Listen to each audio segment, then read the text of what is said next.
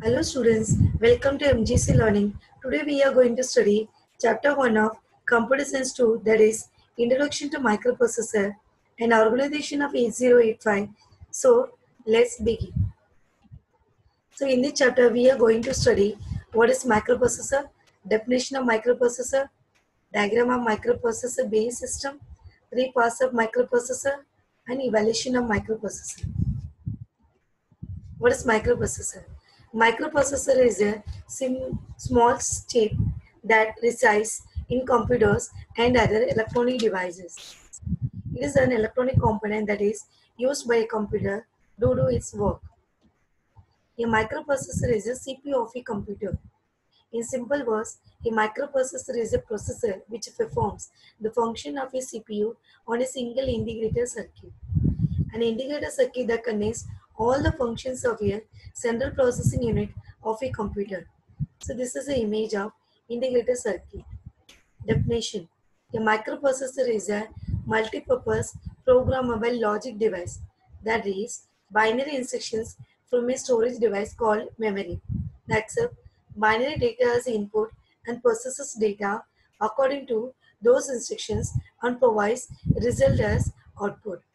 So it is the heart of any normal computer, whether it is a desktop machine, a server, or a laptop. It takes a bunch of instructions in machine language and executes. The microprocessor is a CPU of a computer. Due to any task using microprocessor, it is to be programmed by the user. So the programmer must have idea what it is internal resources. So this is the image of binary data. It means a microprocessor is a binary instructions from memory and accept input as a binary data and process the data according to the instruction. So this is the image of microprocessor. This is a diagram of microprocessor based system. It is broadly divided into four parts. The first one is microprocessor, memory, system bus, and I/O devices. A microprocessor is broadly divided into three parts that is ALU, register array, and control unit. The second one is memory. Memory means it is stores binary information such as instructions and data and provides the information to the microprocessor whenever necessary. To execute programs, the microprocessor reads instructions and data from memory and performs the operations. After processing, it will be stored either transferred to the output device or memory.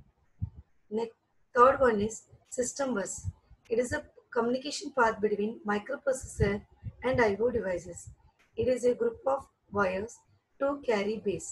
The last one is input-output devices.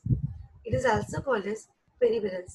It is used to communicate with outside world. The input devices are keyboard, mouse, etc. So these devices are used to transfer data from outside world to microprocessor. The output devices are printer, monitor, speaker, etc.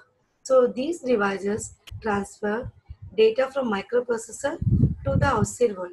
So the data can be displayed on screen and it can be printed on paper by using printer. Three parts of microprocessor, ALU, registers and control unit. What is ALU? It performs all arithmetic and logical operations on the data received from input devices or memory.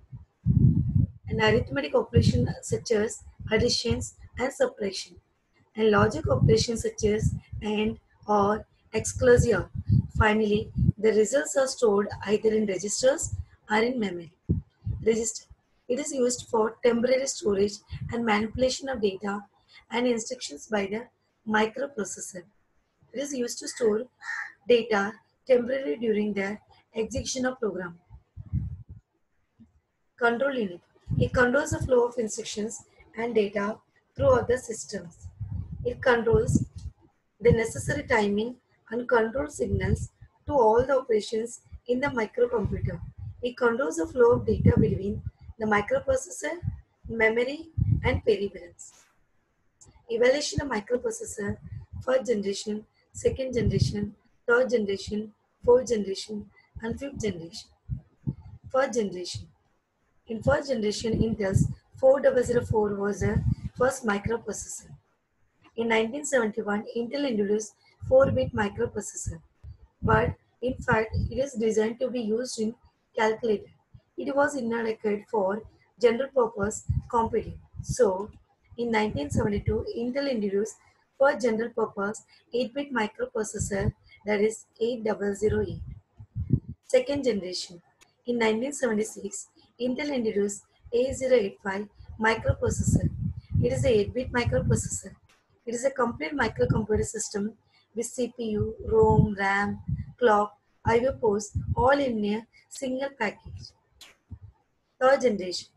In 1978, Intel introduced 8086 microprocessor. It is a 16-bit microprocessor with a performance like mini computers. It is different from the previous generation. Example of this generation is 8086. So this is the images of mini computers. Mini computer means it is a smaller, less expensive and less powerful. Fourth generation. In fourth generation, several different companies were introduced the microprocessor. So it is a 32-bit microprocessor. But the most popular one is a Intel 80386 microprocessor.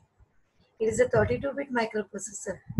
It can address physical memory of 4 GB. The example of fourth generation is 80386. And the fifth generation, Intel made improvement in microprocessor design to provide a greater speed. Also, system can run on new OS like Unix, Linux, etc.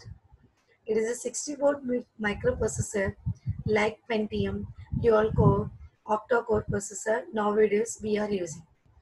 So this is a images of fifth generation computers. Thank you.